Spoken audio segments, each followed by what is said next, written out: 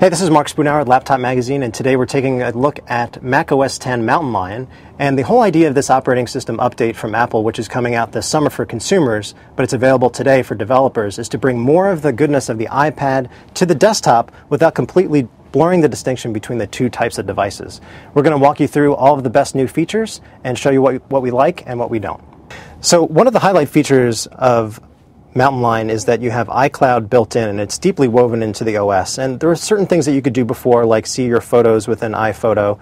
Um, but now you can see that iCloud is more front and center in how you deal, especially with documents. So if you look at an application like TextEdit, you'll see that there, you can toggle between documents that are on your Mac and on iCloud. And this will work also with the iSuite applications that Apple has, like Pages.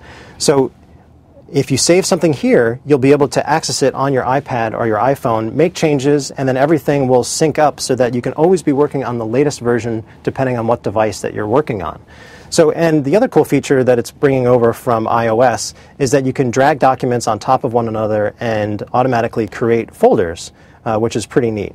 So, the whole idea is just to make iCloud more seamless and more connected when it comes to multiple devices that you might be working with.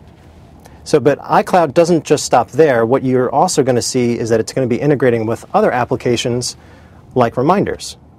So, if this looks familiar, it should. So, it's a very almost like a carbon copy of what you'll find on the iPad. And if you create reminders here and you have an iCloud account, it'll automatically sync up with the iPad itself. And the same thing goes for notes. And but Apple's actually going the extra mile here, where you're going to be able to drag in photos and URLs, and so Notes on Mountain Lion is going to start to compete with Evernote in terms of the functionality and the versatility of it. Uh, and again, if you make changes here, you'll be able to see them on your iPad. Okay, so one thing that a lot of people are going to notice right off the bat when they play with Mountain Lion is that iChat has been replaced with messages. And you know, for us that's a good thing because it integrates uh, instant messaging, and you can also send text messages to other people who are on iOS devices, but they could be multimedia messages too. You can drag in photos. So, for example, this is something that we sent just yesterday, and you can just drag them in from other applications. So it's like sort of like having an MMS conversation with all of your iOS buddies. Uh, but you can also integrate with FaceTime. So they're separate apps still, but you'll see this little icon in the upper right hand corner. So, provided the other person has a FaceTime equipped device, you can have a video call with them so all you do have to do is click this. We're having some connection is- issues, so we have our friend Mike already up here. Hey, Mike. Hey, Mark. How you doing? Good. How are you? All right. So, uh, so this works uh, with anyone who has. Uh, right now, you're on your iPhone, Mike. Yeah, I got. I'm on my iPhone 4S. Right. So it's anyone who's running iOS 5 that has uh, FaceTime. So this could be an, an iPad too as well. Uh, thanks, Mike. No problem. Take care. So it's a really neat feature in the sense that you know Mountain Lion integrates messages and FaceTime sort of into one seamless experience. Okay, so one of our favorite features of iOS 5 was Notification Center, which, just like Android, allows you to look at all of your alerts that are coming in at any given time and organize them. So, if you remember, you know, it's pretty easy just to see all of your alerts coming in in one place. But now Apple is bringing this over to the desktop too. So, when you have incoming alerts, they're going to flash up here as little banners and they'll appear for about five seconds and then disappear. But if you don't get to them, you have a couple of options. You can click this button right here or you can just slide in on the touchpad from the right side and you can see all of your messages, you know, missed FaceTime calls, calendar, email, and anything else that Apple opens up to developers for people who want to use the API for the notification center. Um, and what's great is that even if you're in a full screen app,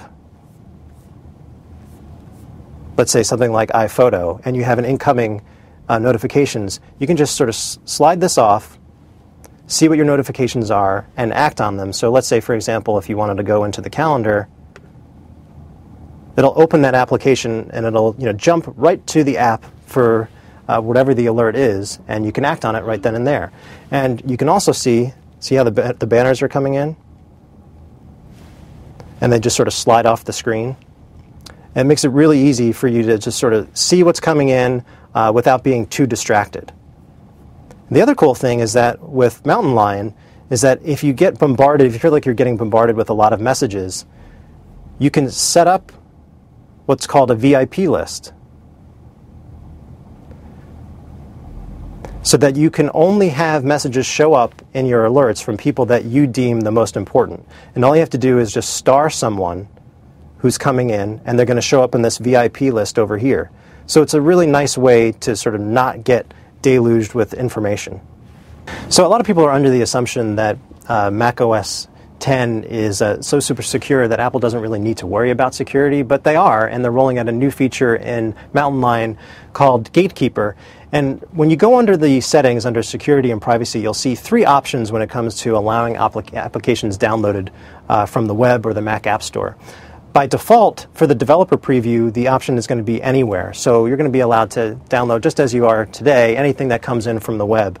But when this rolls out to consumers, the default choice is going to go to Mac App Store and identified developers. And what that means is that developers out there are going to get a developer ID, which means that if you download something from them, it's trusted by Apple and therefore it should be secure. So, just as an example, we downloaded something from the web and we're going to show you what it looks like. You know, what happens when you try to install something uh, that isn't signed or doesn't, or something that doesn't yet have a developer ID. So you can say it says here, you know, Adium is not from an identified developer. You should move it to the trash. It's it's not going to have this exact language when this rolls out, you know, to consumers. But the idea is that Apple is literally working as a gatekeeper for the consumer to make sure that they don't have something that could be malware showing up on your system.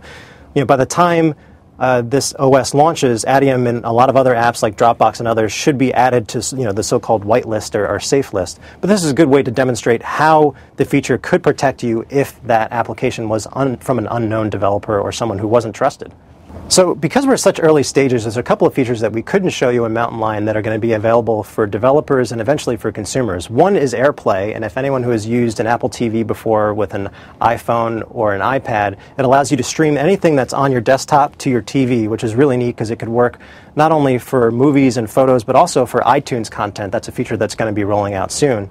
Uh, and the other thing that's going to be cool is that uh, with Game Center coming to Mountain Lion, just as you know you have with the iOS devices today, you'll be able to discover new games, uh, compare your scores with friends, and also get notifications up here if someone wants to challenge you from their iOS device. So we saw Apple, you were playing a game on here while someone else is playing on their iPad or iPhone. So I think what Mountain Lion is really trying to do is tell a better together story with iOS devices uh, and Macs, like the MacBook Air, without blurring the lines between the two devices. And it's completely different from what Microsoft is doing with Windows 8.